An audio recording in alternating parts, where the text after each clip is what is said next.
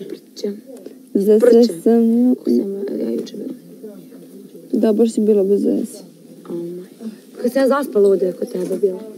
Mhm. Prelajva, brate. Ti rekla Kojim za se nije nikao. Mm. Nećeš ti sad. Jer sam bila, jer sam bila popila lek, smirenja. I otišla sam u hodil i ja i Filip pričala. I htjela sam spavam i onda smo pričali o svemu i baš mi ono, kako šta, no, njegova situacija, moja situacija.